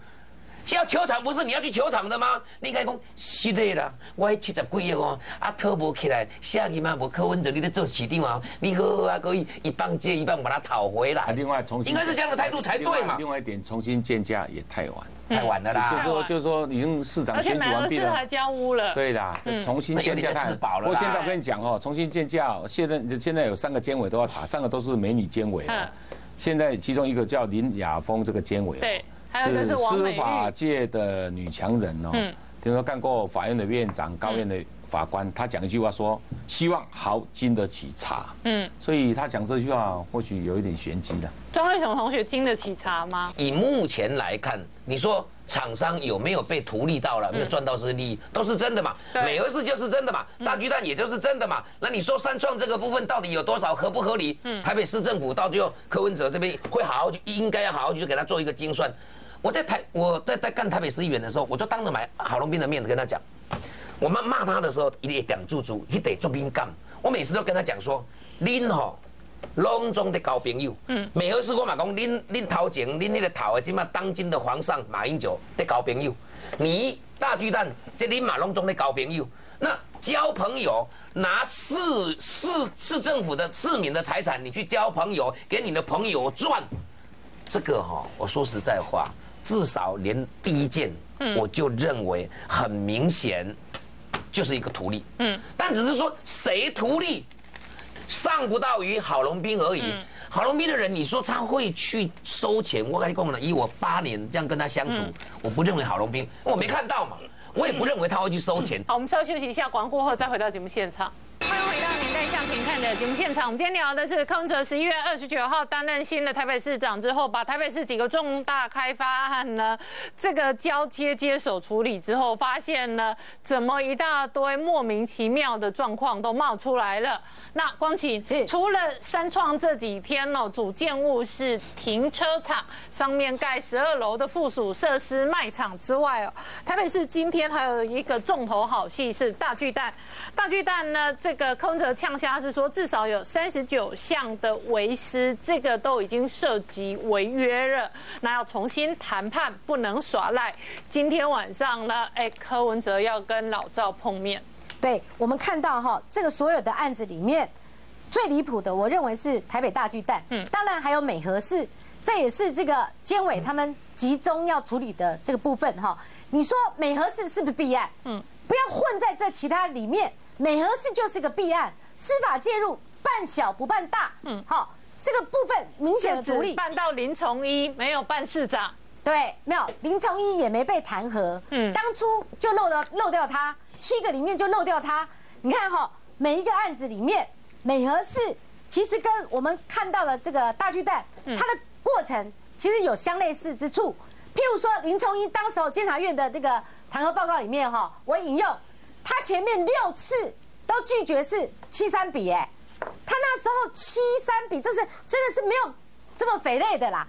你试想，我们感同身受，我们用我们自己的家里的这个状况来比，假设我有九十九点三五趴的，这是我自家的土地，嗯，我在分配上就算是我们是一个好这个连开案，我最后我再怎么样，我会给人家七吗？然后我自己分到三，而且都是一些比较烂的一个配置，嗯，所以这个是很明显的不符合。所以这个监委美和司是管定了要重新建价。那我们也看到大巨蛋的过程当中，它有许多争议的，比如说它环评哦，一直开会，一直开会，然后呢，看到他们的那个审议委员会也一直开会，一直开会，一直挡挡挡了某些东西，那甚至换协力厂商，公共工程委员会当时是扁执政，你介入之后，你驳回掉这个市府，到时候是马市府，他的这样的一个过程，连监察委员都认为说，你个公共工程会没有道理，等一下这个我们的司高会细讲。那所以呢，这中间一定有一些问题，说不然的话，怎么会这么多看这个这个中间的一个风波？那你何以在二零零六你马英九又让他过了呢？这中间你要给我们一个明明白的交代。那我们再讲到合约里面非常多的这个不平等，譬如说你要的罚款，我们昨天也提到了，嗯，就说你原先你一天十万，你为什么要让他降成一天五万？那他不怕了嘛？你又设了一个上限三百万，这叫洪志坤以前哦前几天公布的这个公文里面，然后呢里面呢他的这个所谓的最最离谱还有一项，就是说不可抗力之下建价这个部分我们刚刚讲了，那问题是它有一个保证收购，就跟 BOT 嗯高铁那个案子一样，这些都是一个很大的这个问题。而且你知道合约里面暗藏玄机，你有没有看到这个案子跟富邦嗯。好文创那个案子？它都有一个涉及一个东西，它或者是三创，我们以前以后也等着看，它都有一个，它拿下以后，它可以出租转让，哎，嗯，这是这是一个大家一个共同性，合约还暗藏一个玄机，嗯，你号称是五十年，可是包括富邦，包括连大巨蛋，我以为只有富邦文创而已，嗯，包括大巨蛋都一样，哎，你五十年后再特许十年，再特许十年，有可能卖掉七十七十年，嗯，那你想想看，那你后来。你要去接的时候，你怎么接？它没有高的这个所谓的商业价值。那我们看 BOT 嗯高铁那个案子，也一样啊。他要要求三十五年后再展延四十年，嗯，我们能接受吗？我们自己也要评估嘛。嗯，所以在这种情况下，里面哈很多还有转投资规则啦，还有零零总总的，所以网友很很很哭手嘛。这是我们现代版的一个马关条约嘛？好，那是刚你要补充。这样，那个我在网络上也找到一个资料了。二零零六年的时候，其实当时的台北市政府就对于富邦去变更它的协力厂商，由这个竹下工程所，大家稍微对工程也了了解，这竹下工程它是对于新建这个巨蛋这一类的体育设施是很有经验的。嗯，把这竹下工程所都换成另外一家的。呃，协力厂商，所以当时的台北市政府就说，哎，他觉得要有他提出异议，他希望跟远雄解约。跟员工解约，因为你的实力厂商换了嘛，对，就等于说我今天本来要找这个第一第一名的，但是我突然找一个第三名，未而且未必会盖这个的，嗯，所以那时候台北市政府就提出异议。二零零六年哦，这马市府的时代，但是经过了，因为他富邦可以提出诉讼诉那个远雄还是富邦？对不起，远雄远雄，因为远雄可以提出这个诉愿嘛，对，所以他当他的上级上级机构，像行政院公共工程委员会来提出诉愿，但是。这个公共工程委员会呢，接受了复呃接受了远雄的诉愿。的内容，认为台北市呢想要去这个把这个废约的部分是不合法的，对。啊不合这个行政程序的，所以在公共工程中央单位是支持了远雄的这个做法，所以在这个事情上面，是不是有更往当时往上延伸的可能性？哦，也不能说一一一笔账全部都当时的市政府要扛，我觉得这个是我觉得以后可以关注的焦点。我可以厘清啊，当时这一个呃，秦惠珠曾经在我们的节目当中哦，解构了当年所有的状况，就很简单，那个年代的阁魁哦是国呃民进党籍的阁魁，那是不是那个时候的民进党籍的阁魁哦？有没有在公共工程委员会上面哦帮远雄？这我们不知道，不知道，在还在追。可是阿仔，嗯，台湾社会在追哦，就会发现，哎，怎么小老百姓哦，当你要跟这个政府打交道的时候，这个政府都精明的要死。我讲明哦，我们再把徐旭东拉出来打，好久没打他了，有没有觉得很陌生哦？我我们这样讲好了，两个东西其实都很夸张啊。第一个是。远雄从以前到现在，罚款的上限、罚金上限一直违约，每天违约盖不完，对不对？是三百万。嗯，那请问一般人，我如果在高速公路上，我一直被开罚单，一直被开罚单，我会不会被吊销驾照？会，你会 double double 之后吊销驾照。然后我不交呢，会强制执行嘛？那我们再拉到徐旭东身上，哎，你说远通电收那 ETC 是不是 BOT 是嘛？那 BOT 里面，因为又因为你违规违约。被罚了五亿啊，交了没？到现在还是没交哦，到现在都已经在正常营运了，你还是没交。我觉得现在分成两个部分，第一个是政府遇到财团就腿软，嗯，正常该惩罚的任何一个民间单位哦，谁会跟一个已经违约被你罚了五亿的单位继续让他正常执行？嗯，钱也给他，罚款也给他，哎，甚至高工局之前还讲史无前例的严格，就是如果你不交那个 ETC 通行费哦，他会强制执行哎。对，在你高工局自己在收手没这么严。一到远通电收的时候，你帮他收，当他手下的时候就变得比较严。嗯，我觉得这背后有一个真正的问题是，BOT 案在台湾已经完全失去了 BOT 真正的利益。嗯，它的利益就是政府没有钱，所以找财团来，财团做完之后，再把地上这些建物或者任何的设备再转移给台湾政府或者是这个县市政府。嗯，可现在有两个问题，第一个是。公益性已经完全失去了。对，我们之前提过了这一些，包含从美和是以降大巨蛋等等等等，它的公益性都被压缩到最小，甚至是百分之百可以切割。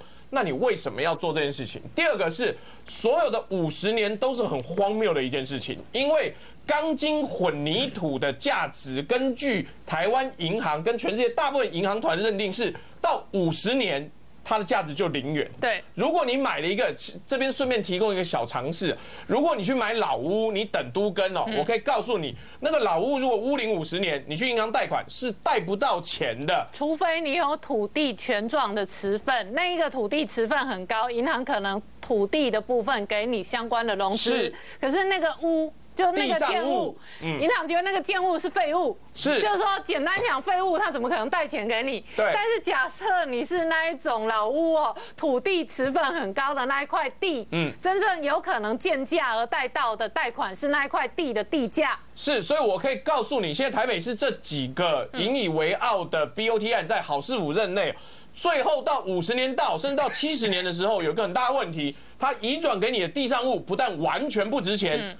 拆除费要你自己付哦，是。合约里面没有写说我要拆屋还地，是。我是要把建物移交，但是五十年之后钢筋混凝土的建物是被视作已经到达使用寿命了，而你任何一个政府在五十年之后，但坦白讲，我儿子都五十五岁的时候，那个时候那一任的政府要倒大霉，因为这些东西回来之后。你不但要接收一个五十年已经到达使用年限、贷不了款的建物，拆屋还要你自己付钱，所以现在有个最大的问题就是。BOT 案以目前的营运跟规划状况，在台湾是完全失去了当初真正的意义的时候，那其他不用讲，连高铁都一样啊。对，高铁如果到达使用年限的时候，你归还给政府，哎，我跟你讲，高铁怎么办？七十年，它本来三十年，现在在展示十年，也七十年。